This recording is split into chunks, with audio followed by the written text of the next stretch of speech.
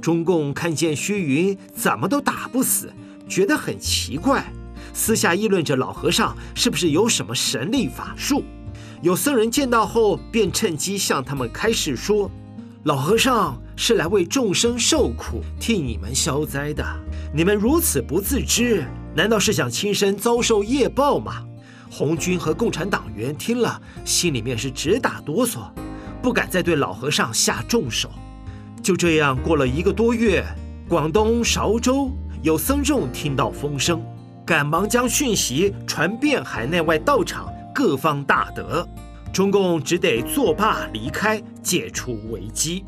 佛门将这次的事件称为“云门事变”，而这也是虚云和尚自述一生遭遇的十难中，最后并且最大的一场劫难。